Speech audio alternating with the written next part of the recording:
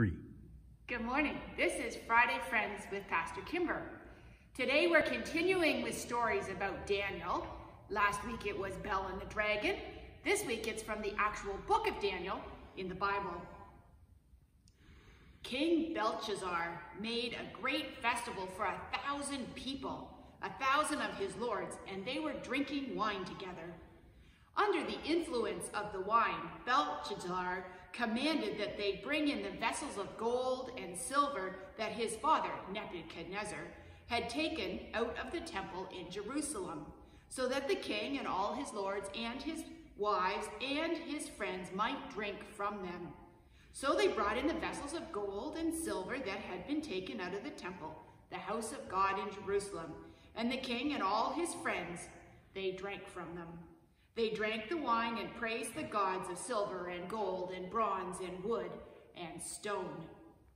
Immediately, the fingers of a human being, a human hand appeared and began to write on the plaster on the wall of the royal palace next to a lampstand. The king was watching the hand as it wrote. Then the king's face turned very pale, and his thoughts terrified him. His limbs gave way and his knees knocked together. He was that afraid. The king cried out to bring the enchanters, the Chaldeans and the diviners. And the king said to the wise ones of Babylon, Whoever can read this writing and tell me its interpretation shall be clothed in purple and have a chain of gold around their neck and rank third in my kingdom. Then all the king's wise people came in but they could not read the writing on the wall or give an interpretation to the king. King Belshazzar became greatly terrified, and his face turned pale, and his lords and his friends were perplexed. The queen, when she heard the discussion of the king and his friends, came in from the banquet hall. The queen said, O king, live forever. Do not let your thoughts terrify you or your face grow pale. There is a man in your kingdom who is endowed with the spirit of the holy gods. In the days of your father, he was found to have enlightenment, understanding, and wisdom like the wisdom of the gods. Your father, King Nebuchadnezzar, made him chief of the magicians and the enchanters and the diviners because he had an excellent spirit, knowledge, and understanding. He can interpret dreams, explain riddles, and solve problems. And solve problems were found in this Daniel, whom the king called Belteshazzar. Now, let Daniel be called, and he will give the interpretation.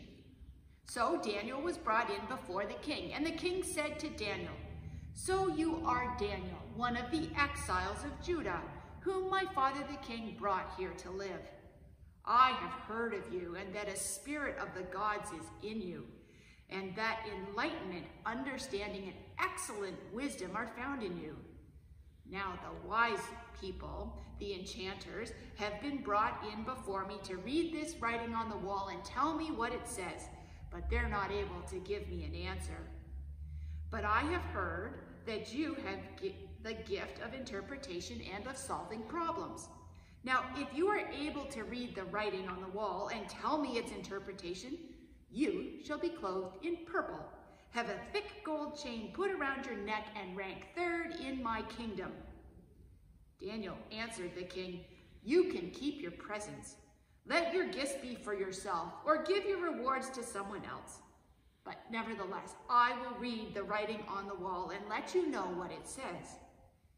O king, the most high God, gave your father Nebuchadnezzar kingship, greatness, glory, majesty. And because of the greatness that he gave him, all peoples and nations and languages trembled and feared before him. He killed those he wanted to kill, kept alive those he wanted to keep alive, honored those he wanted to honor, and made fun of those who he wanted to make fun of. But when his heart was lifted up and his spirit was hardened so that he acted proudly, he was deposed from his kingly throne, and his glory was taken away from him. He was driven from society, and his mind was made like that of an animal. He dwelt with wild donkeys, and he ate grass like an ox, and his body was bathed with the dew of heaven until he learned that the Most High God was sovereign over the kingdom of human beings and set over it whomever he would want. And you, Belshazzar, his son, have not humbled your heart, even though you knew all of this about your dad. You have exalted yourself against the Lord of heaven. The vessels of the Lord's temple have been brought in before you, and you and your friends have drunk from them. You've drunk wine from them. You've praised the gods of silver and gold, of bronze, of iron, of wood, and of stone, which do not see or hear or know. But the God in whose power is your breath, and to whom belong all your ways, you've not honored, you've forgotten. So, from his presence, the hand was sent, and this writing was inscribed. And this is the writing that was inscribed. Mene, Mene, Tekel, and Parsin. I'll say that again. Mene, Mene, Tekel, and Parsin. This is the interpretation of the matter. All of these have to do with weight and money. Mene, God has numbered the days of your kingdom and brought it to an end. Tekel, you have been weighed on the scales and found wanting. Peres, your kingdom is divided and given to other people the Medes, and the Persians. Then Belshazzar gave the command, and Daniel was clothed in purple. A chain of gold was put around his neck, and a proclamation was made concerning him that he should rank third in all of the kingdom.